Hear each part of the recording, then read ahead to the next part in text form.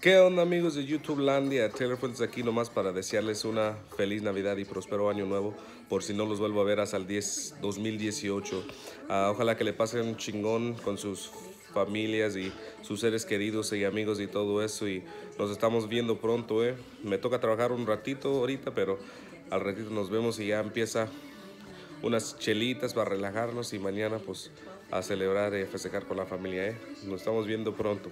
Bye.